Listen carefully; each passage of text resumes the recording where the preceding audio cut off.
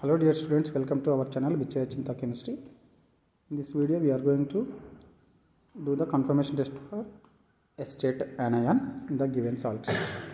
For that we have to prepare the acetate solution in a dye tube.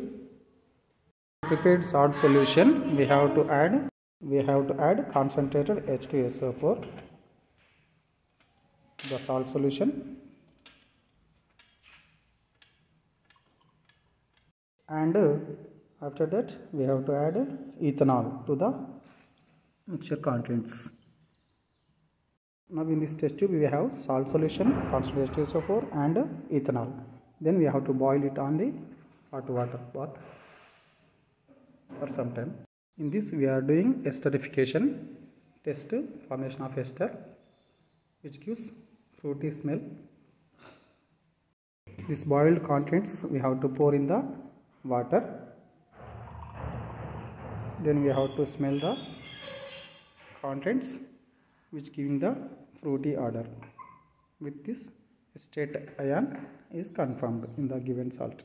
Thank you dear friends. Please subscribe our channel and uh, like the video to reach maximum students